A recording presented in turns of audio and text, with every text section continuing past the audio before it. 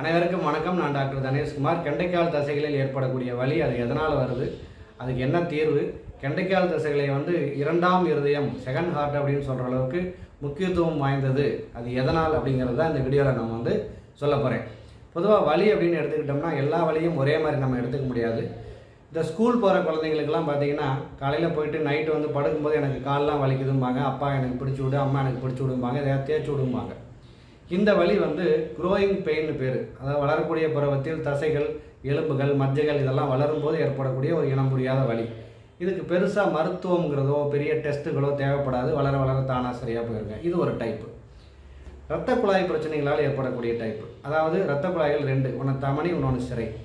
தமணிங்கிறது ஹார்ட்லேருந்து ரத்தத்தை மற்ற பகுதிகளுக்கு எடுத்துகிட்டு போகிறது காலுக்கு போகிற ரத்த ஓட்டம் வந்து தடைபடும் பொழுது அதை வந்து பெரிபரல் வாஸ்குலார் டிசீஸ்னு சொல்லுவோம். ஸ்மோக் பண்ணுறவங்களுக்கு வரும்.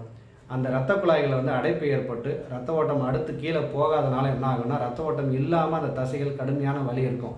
காலையை வெட்டி போட்டுறலாம் அப்படிங்கிற அளவுக்கு வந்து கடுமையான வலி இருக்கும். பெரிபரல் வாஸ்குலார் டிசீஸ்னு பேர்.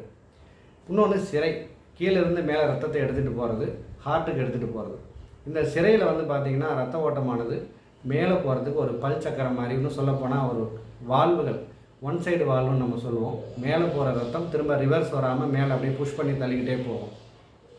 நின்றுக்கிட்டே வேலை பார்க்குற சூழ்நிலையில் இருக்கிறவங்க அப்படிங்கும்போது என்ன ஆகும்னா ரத்தம் வந்து தேங்கி கீழேயே நிற்கும் அப்போ என்ன ஆகும்? கீழே இருந்து மேலே போகிற ரத்த ஓட்டமானது அப்படியே தடைப்பட்டு போய் தேங்கும் போது அந்த வால்வுகள் வந்து டேமேஜ் ஆகும். அதை தான் நம்ம வந்து வெரிகோஸ் வெயின் அப்படின்னு சொல்கிறோம் பார்த்தா தெரியும் அப்படியே சிலந்தி வலை மாதிரி பெருசு பெருசாக இருக்கும். அதனாலேயும் பார்த்தீங்கன்னா ரத்தம் தேங்கிறதுனால ஒரு கடுமையான வலியானது ஏற்படும். இன்னொரு பக்கம் நரம்புகளால் ஏற்படக்கூடிய வலி. நம்ம இடுப்பு எலும்பு தேய்மானது எல் ஃபோர் எல் ஃபைவ் டிஸ்க்கு ஏதாவது தேஞ்சு போச்சு அப்படின்னா அது வழியாக வர ஷியாட்டிக் நர்வ் வந்து கம்ப்ரஸ் ஆகி அதனால் அது எங்கெல்லாம் சப்ளை பண்ணுதோ அங்கெல்லாம் கடுமையான வலி இருக்கும். குறிப்பாக கெண்டைக்கால் வந்து கடுமையான வலி. ரொம்ப நேரம் தொங்கட்டு உட்கார முடியாது ரொம்ப நேரம் நிற்க முடியாது ரொம்ப நேரம் வந்து படி ஏறுறது இறங்குறதெல்லாம் ரொம்ப சிரமமாக இருக்கும். நைட் படுக்கும்போது கால் வந்து இழுக்கும். இது வந்து ஷியாட்டிக் பெயின் அப்படின்னு சொல்லுவோம். இது ஒரு வகையான கெண்டைக்கால் வலி. இன்னொன்று பற்றாக்குறையால் ஏற்படக்கூடிய வலி. அதாவது நான் வந்து கீரை சாப்பிட மாட்டேன் பால் சாப்பிட மாட்டேன் முட்டை சாப்பிட மாட்டேன் அப்படின்னு சொல்லி சாப்பிடாம இருக்கிறதுனால கால்சியம் மெக்னீசியம் பொட்டாசியம் சோடியம் இந்த மாதிரி சத்துக்கள் குறைபாடு ஏற்பட்டு அந்த சத்துக்கள்லாம் தசையினுடைய உருவாக்கத்துக்கும் வளர்ச்சிக்கும் ரொம்ப தேவைங்க. ஸோ அது இல்லைங்கும்போது ஏதாவது ஒரு சின்ன வேலை செஞ்சால் கூட கெண்டைக்கால் கடுமையான வலி வரும். சில பேருக்கெல்லாம் இழுத்து பிடிச்சிக்கும். இது சத்து குறைபாடால் ஏற்படக்கூடிய வலி. இன்னொன்று வந்து பார்த்திங்கன்னா சத்து இழப்பால் ஏற்படக்கூடிய வலி. ஒரு உதாரணத்துக்கு சொல்லணும்னா ஒரு பத்து தடவை வயிற்றால் போகுதுன்னா என்ன ஆகும்? உடம்புல சோடியம் குறையும் பொட்டாசியம் குறையும் பைகார்பனேட் குறையும் கால்சியம் சத்துக்கள் குறையும் மெக்னீஷியம் எல்லாமே குறைய ஆரம்பிக்கும்.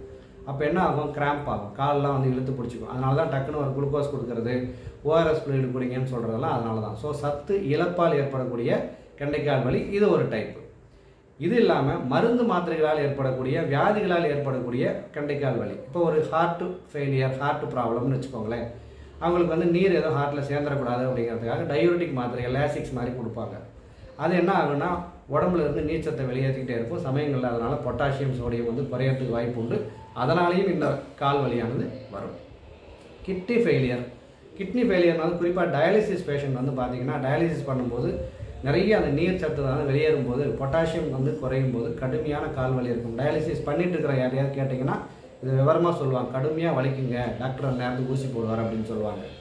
ஸோ இந்த மாதிரி நீர் சத்தை வெளியேற்றக்கூடிய டயபெட்டிக் மருந்துகளால் ஏற்படக்கூடிய கெண்டைக்கால் வலிங்கிறது ஒரு டைப் ஸோ கெண்டைக்கால் வலியில் இவ்வளோ டைப்புகள் இருக்குது சரி செகண்ட் ஹார்ட் அப்படின்னு ஏன் சொன்னோம் அப்படின்னா அதுக்கு முன்னாடி ஒரு சுவாரஸ்யமான விஷயம் அப்படின்னா அந்த கெண்டைக்கால் தசைகள் வந்து கொஞ்சம் அழகான தசைகள். படத்துலலாம் பார்த்துருப்பீங்க அந்த நடிகைகள்லாம் வந்து பாட்டில் பார்க்கும்போது அந்த கெண்டைக்கால் தசைகளை வந்து கூடுதலாக வந்து காட்டுவாங்க. ஸோ ஒரு கவர்ச்சியான தசைகளும் கூட. அந்த தசைகள் எதனால் உருவாகுதுன்னா ரெண்டு விதமான தசைகளால் உருவாகுது. ஒன்று வந்து சோலஸ் அப்படிங்கிற ஒரு தசை இன்னொன்று வந்து கேஸ்ட்ரோனிமஸ் அப்படிங்கிற தசை. கேஸ்ட்ரோ அப்படின்னா என்ன? வயிறு தானே? அது எங்கே அந்த பேர் வந்துச்சு? கெண்டைக்காலுக்கு அப்படின்னா குறும்புக்கார விஞ்ஞானிகள் தானே எல்லாம். என்னன்னா கேஸ்ட்ரோ அப்படின்னா வயிறு நீமஸ்னால் புடச்சிட்டு இருக்கிற வயிறு. அப்போ தொந்தி. அதாவது காலில் இருக்கக்கூடிய தொந்தி மாதிரியான அமைப்பு அப்படிங்கிறதுனால கேஸ்ட்ரோனிமஸ் மசல் அதுக்கு பேர் வச்சுட்டாங்க. இந்த தசைகள் தான் வந்து கெண்டைக்காலுக்கு அப்படி ஒரு அமைப்பை வந்து கொடுக்குது. ஸோ இந்த ரெண்டு மசில்ஸ்னுடைய வேலை என்ன அப்படின்னா கீழே அதாவது ஒரு ரிசர்வாயர் மாதிரி அதாவது நம்ம எந்த வேலையும் இல்லாத போது காலில் இருக்கக்கூடிய காலில் இருந்து அந்த ரத்தமானது அப்படியே தேங்கி நிற்கும்.